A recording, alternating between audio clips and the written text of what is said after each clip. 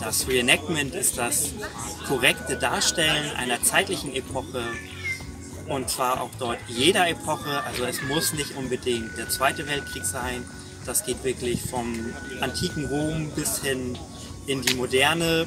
Es kann der zivile Bereich sein, aber auch der militärische.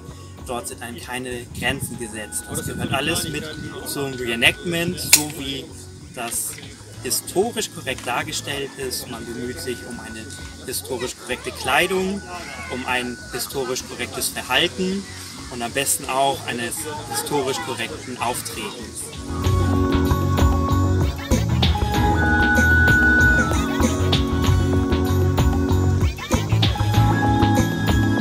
Eins meiner Lieblingsgegenstände, die ich zu dieser kleinen Museumsveranstaltung mitgebracht habe, sind die Glasflaschen aus der Zeit des Zweiten Weltkriegs. Sie wurden nachweislich nur bis 1943 produziert. Das heißt, jede Glasflasche, die heute noch existiert und auch in meinem Museumsbesitz sind, sind über 70, über 75 bis hin zu 80 Jahre alt und somit ganz besondere Einzelstücke, die man mittlerweile auch sehr schwer findet.